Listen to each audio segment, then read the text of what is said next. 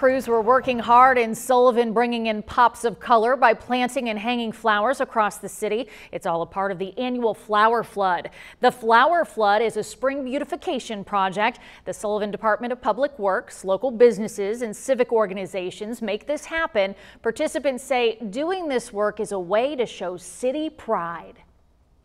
So today's a special day here in the city of Sullivan and, and just bringing people together and putting smiles on faces. You just get that more sense of enjoyment and, and how, how this community is just beautiful.